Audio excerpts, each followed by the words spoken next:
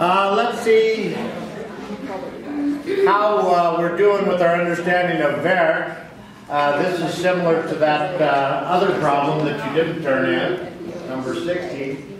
Uh, we have a tension force pulling with 50 newtons to the right. It's moving to the left at three uh, distance of three meters. What is the Verk done by the tension force?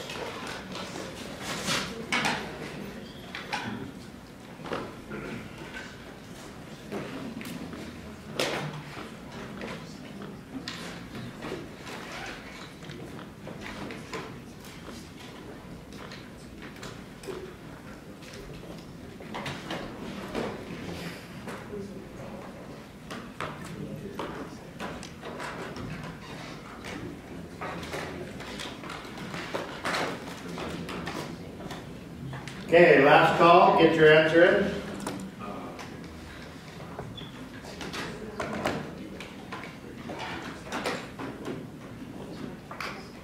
Okay, the answer is D. Now, folks, you don't really need your calculator for this one. I mean, think about it. It's pulling to the right while the block is moving to the left. Your answer has to be negative. There's only two possible answers up here.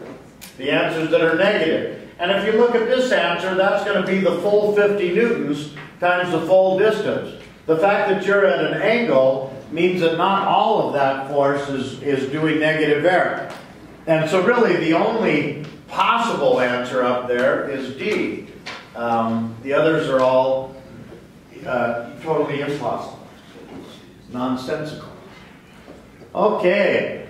Last day we talked about the energy stored in the spring. Remember, energy is the capacity to do damage. And a spring that is compressed or stretched has the capacity to do damage. And it's given by that formula, trust me, until later today. Okay, today's when I come clean and I show you where this comes from. I'm kind of happy about that.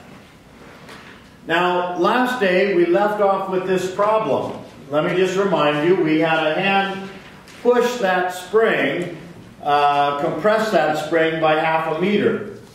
Now, if that spring has a spring constant of 16,000 newtons for each meter, then the energy stored is going to be given by that formula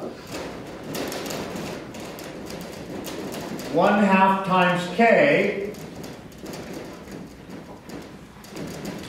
times the compression squared. Now the most common mistake on the next exam will be that square there. Many of you will forget it. Many of you will write it and not do it. Look at your neighbor right now and say, it's going to be you, not me. Okay? Now, if I take a half and square it, I get a fourth. Half of a fourth is an eighth. An eighth of 16,000 is 2,000 joules. Now, that's the total energy of the system because the block's not moving and the block is on the floor. Now, we release the block and we ask how, how much kinetic energy does the block have when it gets away from the spring? The simple way to answer this is to say, hey, I had, a, I had 2,000 joules, and I didn't get robbed. I'm on a frictionless floor. There's, there's nothing that's taken energy away, and so I must still have 2,000 joules, but now it's in the kinetic energy bucket. And that allows me to figure out how fast the block is going. If I now use the formula for kinetic energy,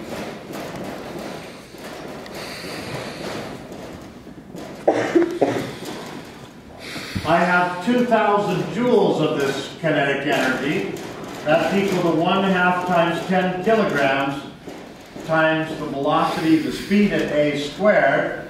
That gives me 400 is equal to the speed at a squared, and that gives me the speed at a of 20 meters per second. Easy. Now we get to the point where we left off. That block hits the rough place at B and starts scraping. And the question is, how far will it scrape before it stops? And uh, with your neighbor, see if you can come up with an answer for that. How far will it scrape before it stops?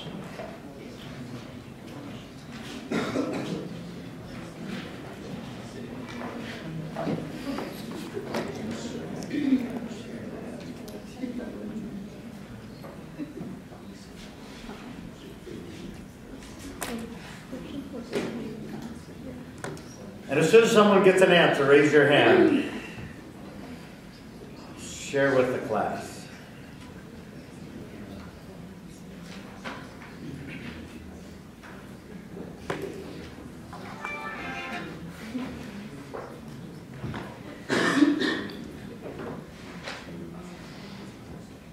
Yes, sir.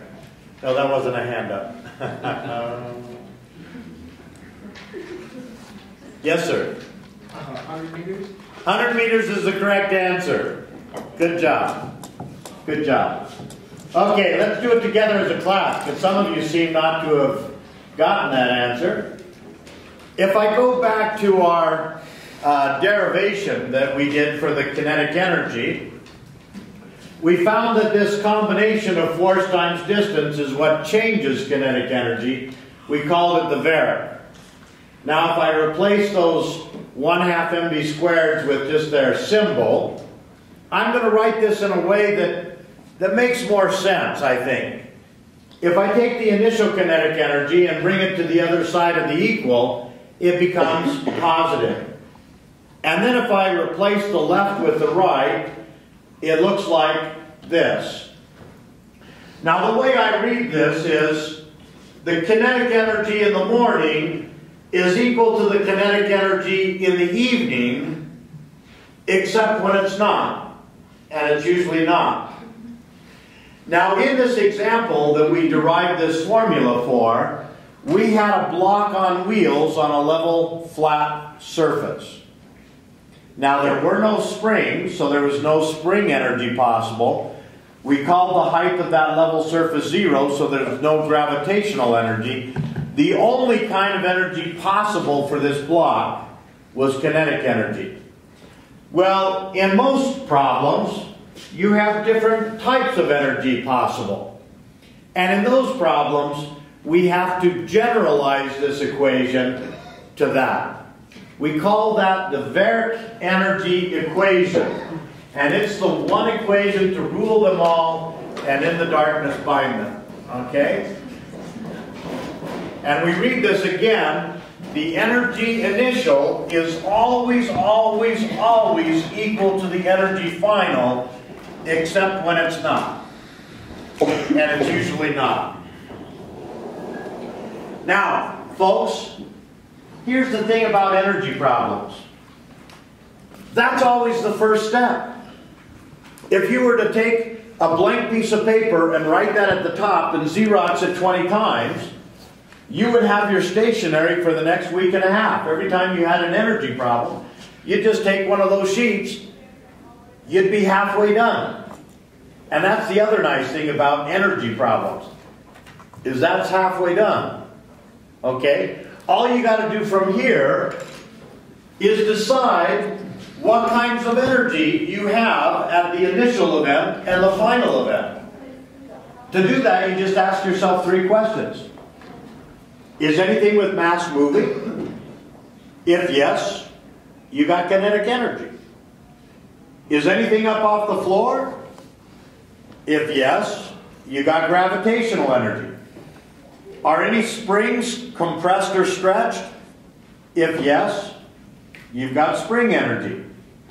Now, what do I mean by initial and final? I don't know. That's up to you. You get to choose what you mean by initial and final. One of those should be a time when you know everything about the energy. The other should be a time when you're looking for information. Whichever one happened earlier in the day is the initial. That's it. That's all there is. And every single problem is solved that way. Let's go back to this problem. When this block got to B, it had 2,000 joules of kinetic energy. And then Verk happened. What kind of Verk? Negative Verk due to the friction. And that bled all the energy out of my bucket, and I was left with no energy. So I would solve that by starting with this equation. Energy initial plus Verk external. Verk is equal to energy final.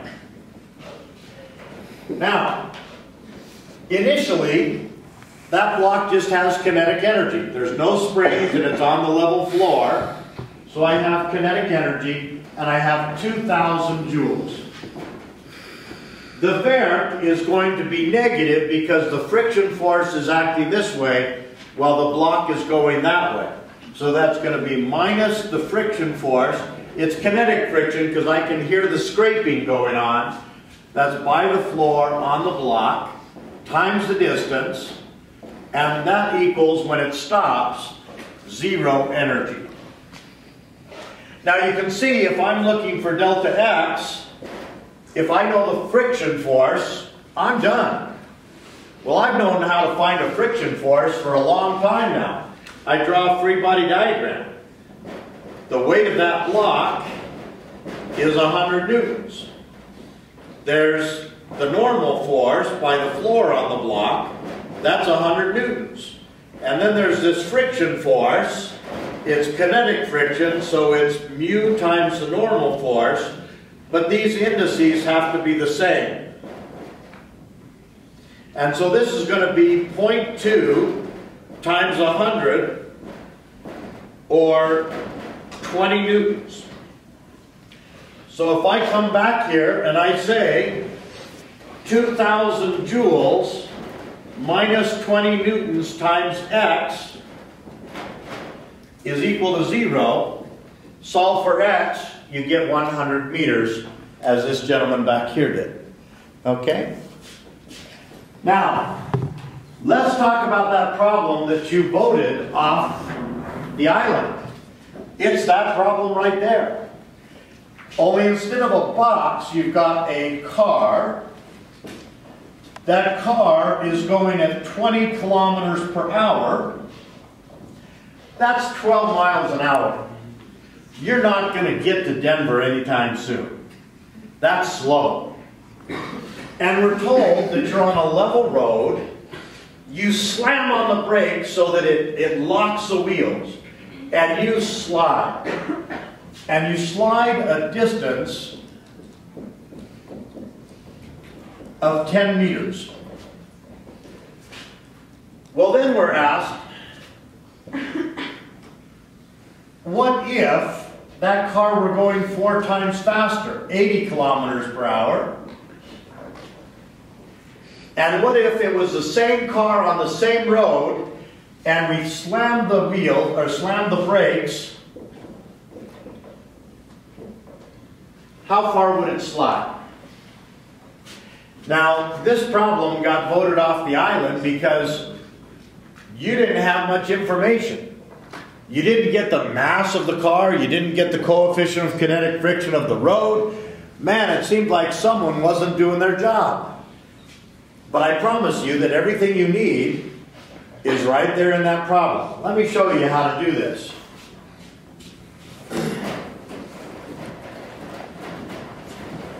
It's the same problem, I'm going to start the same place.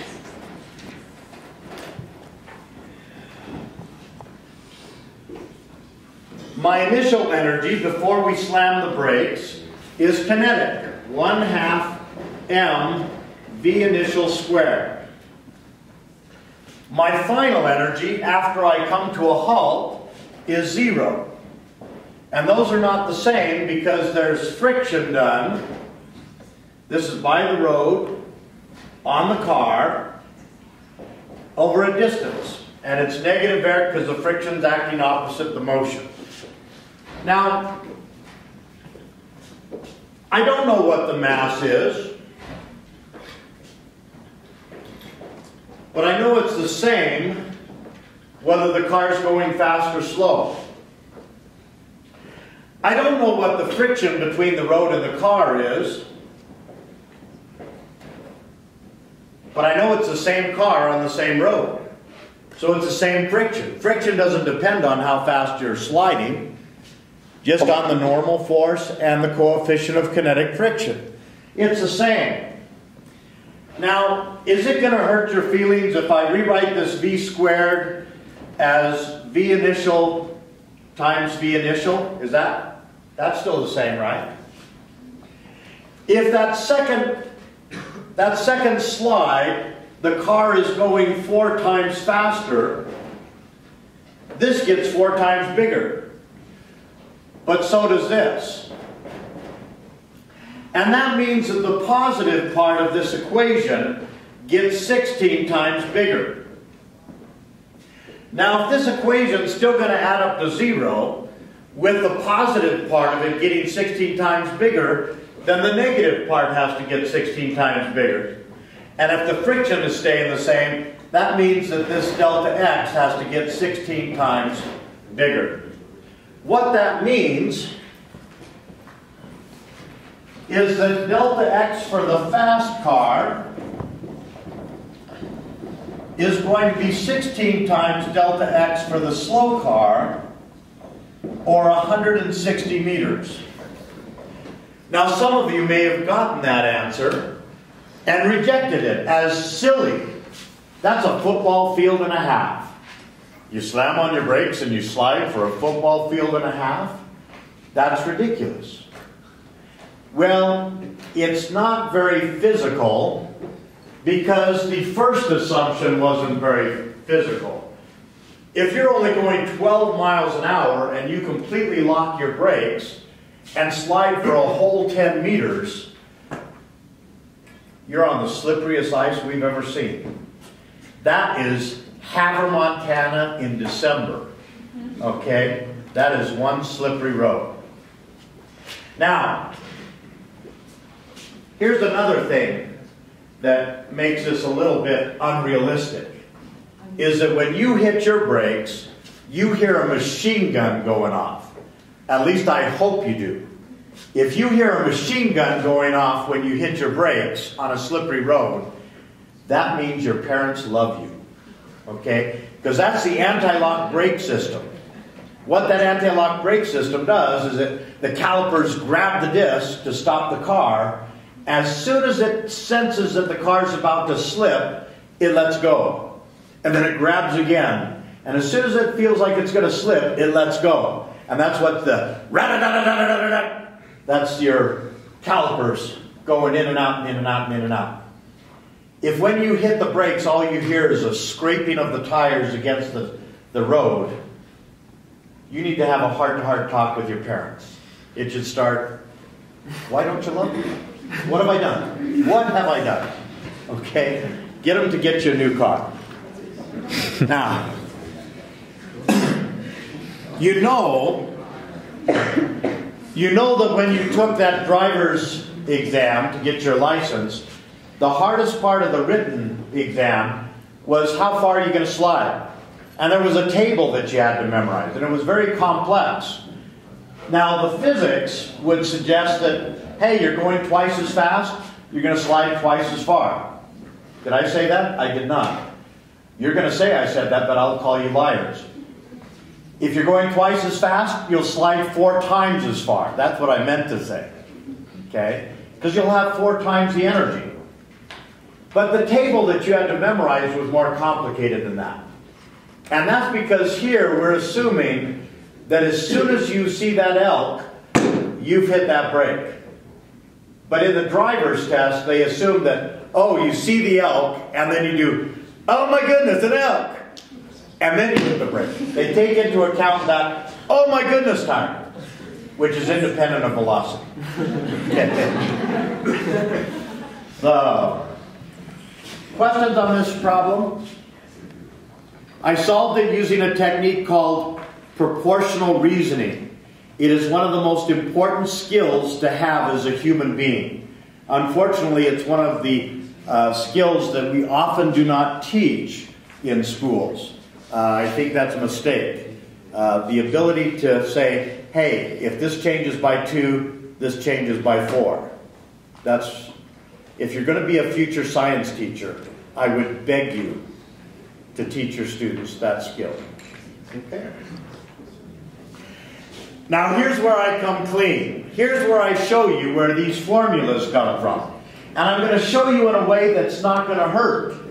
Okay? I told you that when I did this up front, people fell asleep. But now, it's quick and painless, and now it's going to mean something to you. Watch. If I take a box and I move it up a distance h, and I do it in a special way, the box was always already moving slowly when you opened your eyes. And it kept moving slowly at a constant rate all the way up. Now, if I look at the buckets,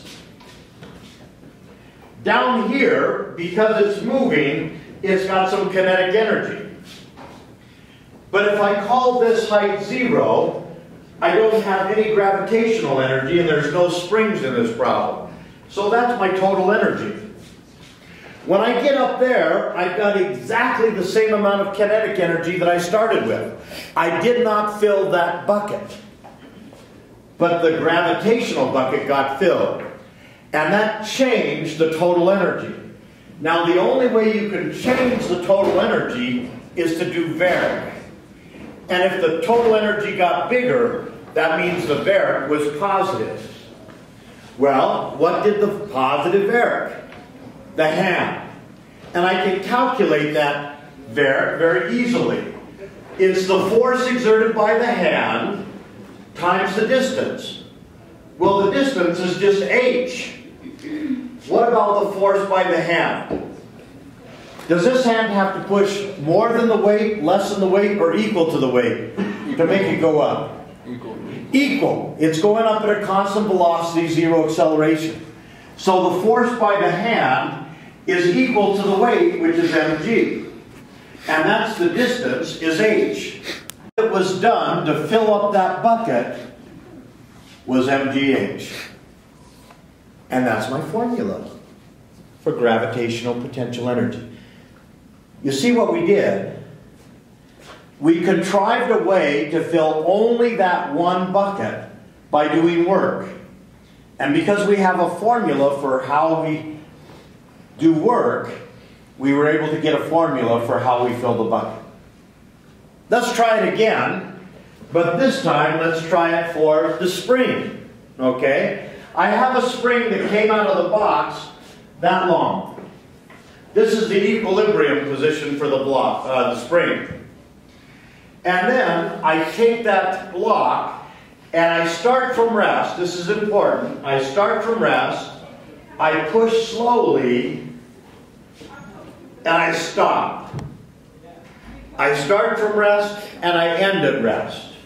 Now, again, the goal is to only fill one bucket. Since I start from rest and I end from rest, there's no kinetic energy. Since I stay on the floor, there's no gravitational energy. The only bucket that gets filled is the spring bucket. I go from no energy to some energy. And that means my total energy bucket goes from nothing to something. By the Verric energy formula, that can only happen if positive Verric is being done. Well, I can calculate that Verric. It's the force times the distance. Well, the distance is just delta S. And the force is given by Hooke's law. Hook, hook, hook, hook.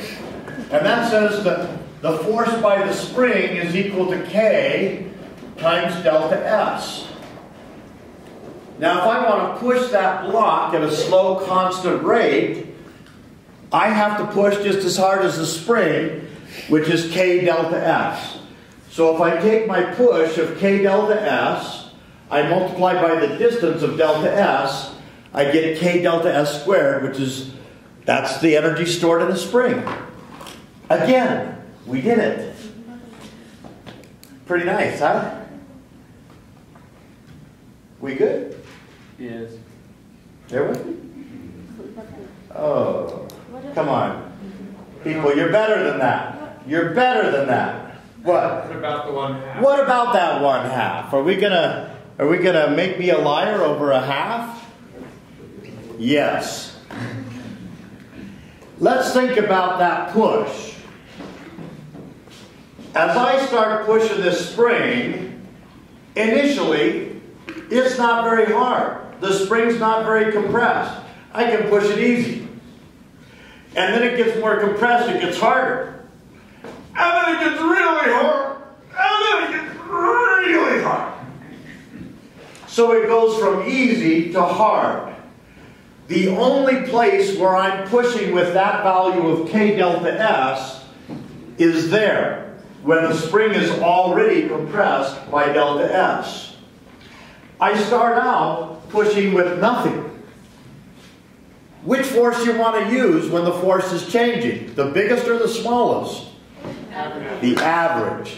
And the average between that biggest and smallest is halfway in between. And so what I want to use is the average force times the distance. And that gives me the half. And that gives me the formula for filling up that spring bucket. Now folks, there's another class that meets in this room. They call themselves calc-based physics. It's filled with a bunch of engineers. And they derived that formula using calculus. And they felt all warm and fuzzy about themselves for doing so. I'm thinking they wasted their time. you have to use calculus to derive that formula. You're not thinking very clearly. Okay? This, all we need is the average force. The average force. Are there questions on those derivations? Was it indeed painless? Nod your head. Good. Thank you. Now, I have here a loop-de-loop. Loop-de-loop. And as you can see, it goes loop-de-loop. Now,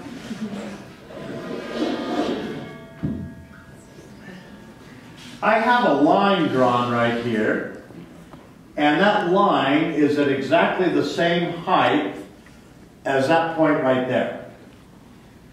So let me start that ball right at the line.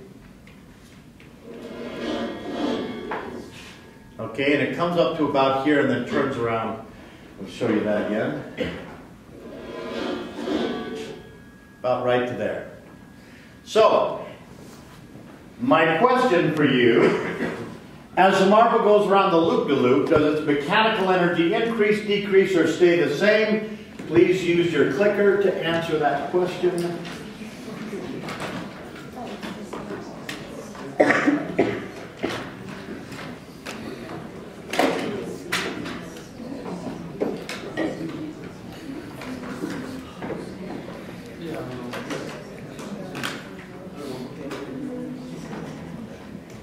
Okay.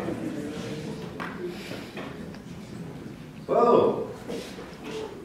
Well, let's talk about that. Clearly, we don't agree.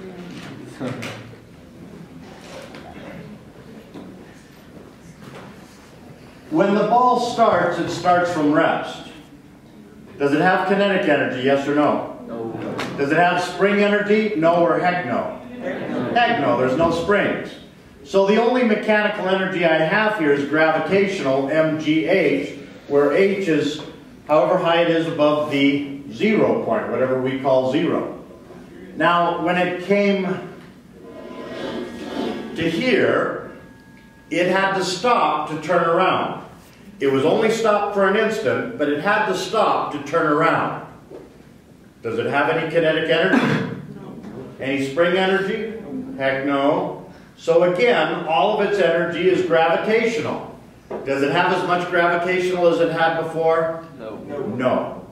So the, the mechanical energy was decreased. That was the correct answer, decreased. Okay? Now, if this were a frictionless loop-to-loop, the first thing you'd notice is I let go of it and it wouldn't roll. It would slide. Without friction, I can't get this thing rolling. Now, if I did that on a frictionless track, it would slide down around and it would come right up to here before turning around. It would come up to exactly the same height. That's what you learned in the tutorial this week. Did you not? I hope, I hope, on page four? Okay. Now, why would a frictionless track allow the energy to be conserved? It's still pushing on the ball. Why is that not doing any work? Because work is only in the same direction as motion. Exactly. It's always pushing perpendicular to the way the ball is going. That allows us to write problems on exams that look impossible.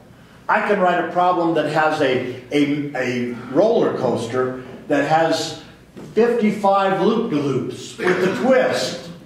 You know, and as long as it's a frictionless roller coaster, no work is done. The energy is conserved because the normal force is always perpendicular to the motion.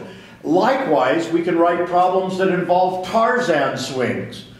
And because the Tarzan swing is always pulling along the vine, and Tarzan's always moving perpendicular to the vine, the Tarzan swing does no work. That looks funny for a fat man, doesn't it? you should see me dance. you should. Okay. Now, that allows me to ask problems that are kind of messy and yet they're pretty darn easy. This is an old exam problem. I love it. It's got potential energy, kinetic energy, spring energy, it's got friction, it's got it all.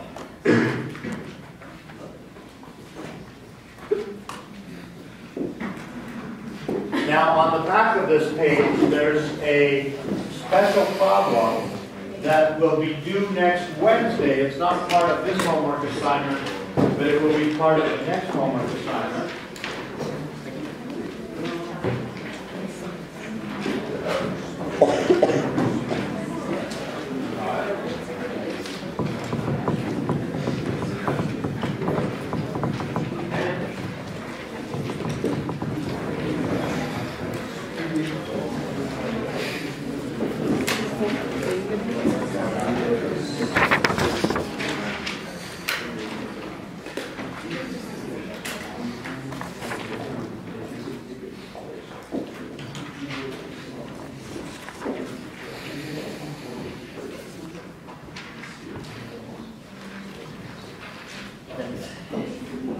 Okay.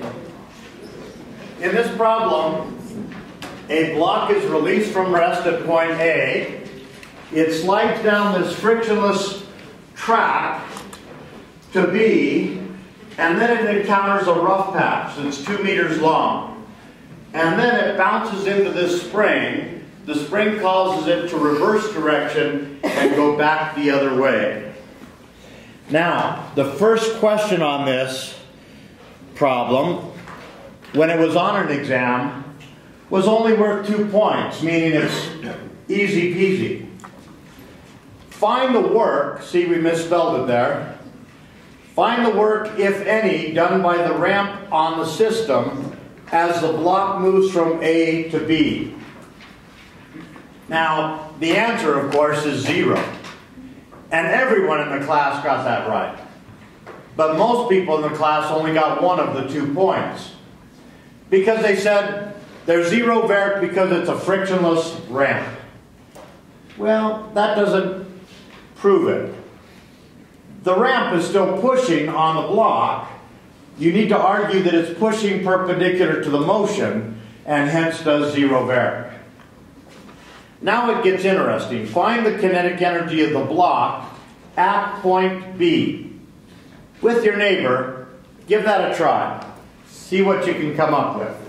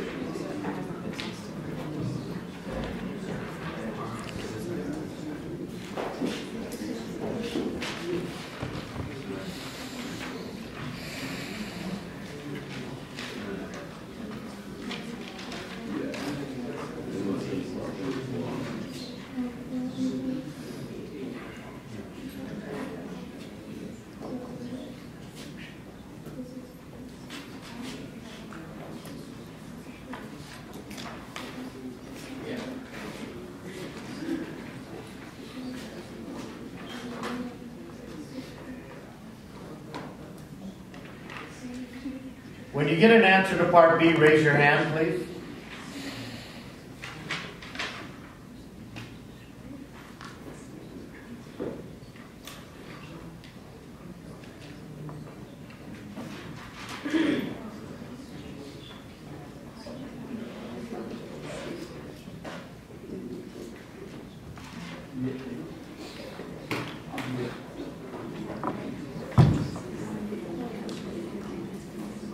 Okay, let's do it together.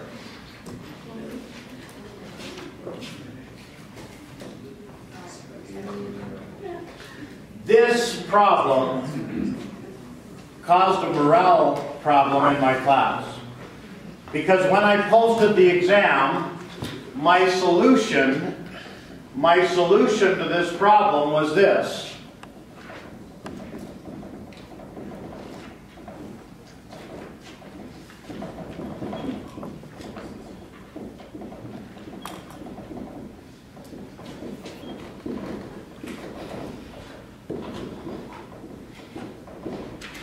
And I had some upset students.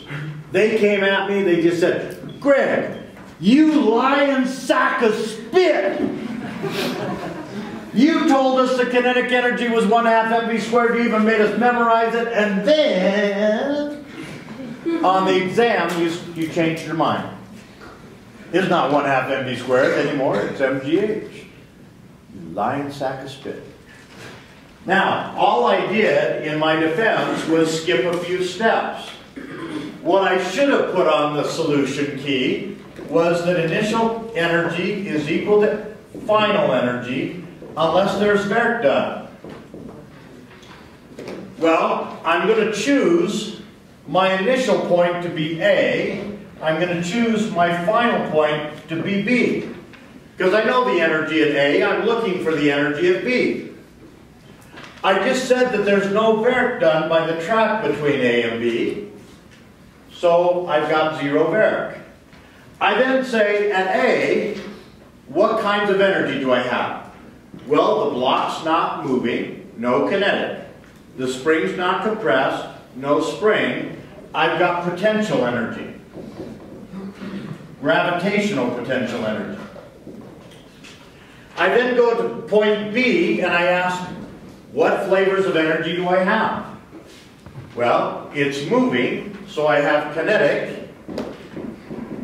It's on the floor, so I don't have any gravitational, and the spring's not compressed yet. No spring. And then I reminded myself, this is what I'm looking for. So if I know this, I know that. So I said, well, this is just M, G, H at A is equal to the kinetic energy at B. And that's what got me in trouble. Okay? There's those steps in between.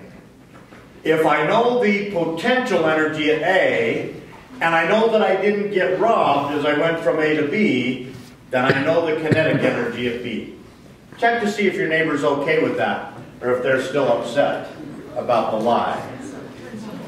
Yes.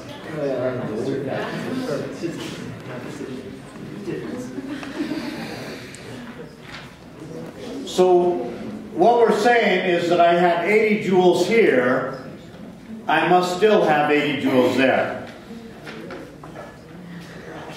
And then we get robbed. Okay? So, next thing we want to find here is the magnitude of the frictional force by the rough section of track. Can you do that in your head?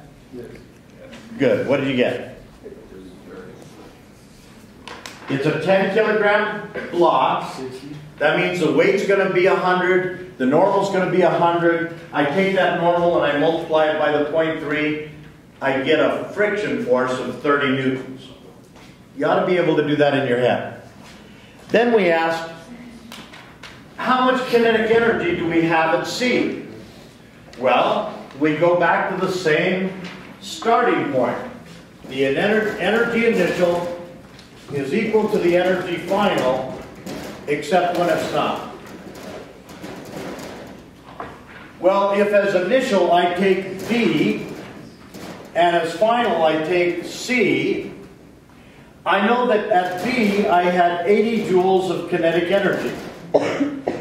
I then have negative Verk done by 30 newtons over a distance of 2 meters, and that's going to give me my kinetic energy at C.